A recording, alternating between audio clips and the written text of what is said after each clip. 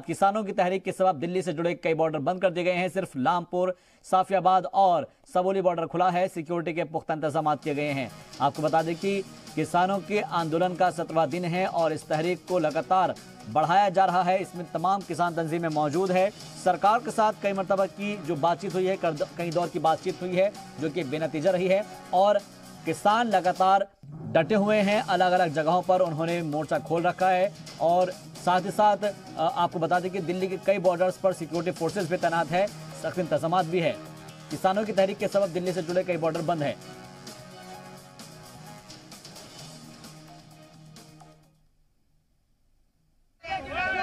ये सीधी तस्वीर हम आपको दिखा रहे हैं जहाँ पर आप देख सकते हैं कि किसानों की तहरीक के सबब दिल्ली से जुड़े कई बॉर्डर बंद हैं और अब ये तस्वीर आ, आ, आप समझ सकते हैं कि आखिर किस तरीके से जो किसान हैं वो अपनी मांगों पर बजिद हैं और उनका सीधे तौर पर यही कहना है कि इस कानून को वापस लिया जाए।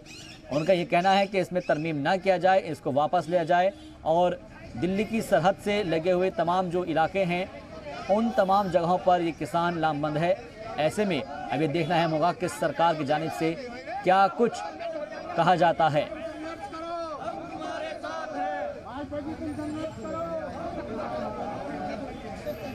नोएडा से लाइव तस्वीर हमको मिल पा रही है। आप जब नोएडा से दिल्ली में एंटर करेंगे और साथ ही आपको बता दें कि नोएडा के B R Ambedkar memorial park में कृषि कानून की मुखालफत में ये अनोखा तरीका यहाँ पर अपनाया गया है। लोग कृषि कानून की मुखालफत में अपने सिर मुंडवा रहे हैं। दरअसल यहाँ पर सिक्योरिटी फोर्सेस आप देख सकते हैं, लेकिन साथ ही साथ जो तस्वीर है, हर एक चीज़ पर नज़र रखी जा रही है ड्रोन के ज़रिए, ताकि कोई भी शरपसंद अनासिर इस आंदोलन में कोई गुस्साखी ना कर बैठे। पुलिस चप्पे चप्पे पर हर एक को मुस्तैदी से परख रही है, देख रही है, गाड़ियों को भी आते जाते नज़र रखी जा रही है।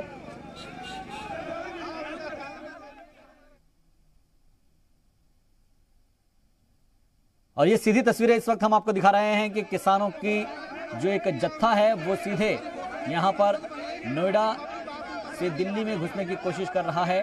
और आपको ये भी बता दें कि ये जब आप गौतम बुद्ध नगर में आएँगे, नोएडा में, वहाँ बी आर अंबेडकर पार्क है। उसके पास से होते हुए लोग गुजर रहे हैं और ज़ाहिर सी बात है कि दिल्ली में घुसने की कोशिश की जा रही है।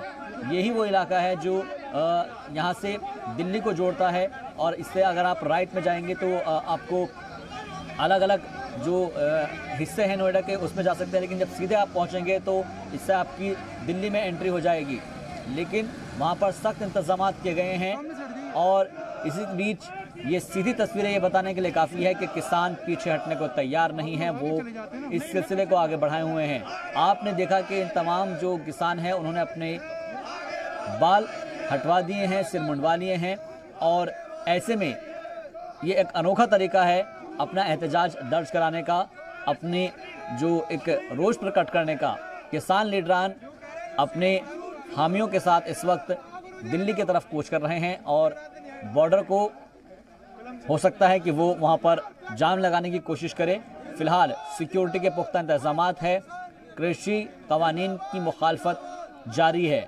सरकार मुसलसल कह रही है कि आपकी अगर कोई परेशानी है, कोई दिक्कत है, इसमें कुछ आप सुझाव करना चाहते हैं तो आप हमें बताइए। एक तजवीज़ लेकर आइएगा, उसके ऊपर गौर खौज किया जाएगा, लेकिन कई दौर की जब बातचीत बेनतीजा रही है तो उसके बाद अब सरकार भी और ज़्यादा उग्र हो गए हैं और यहाँ किसान जो है वो उग्र हो गए हैं।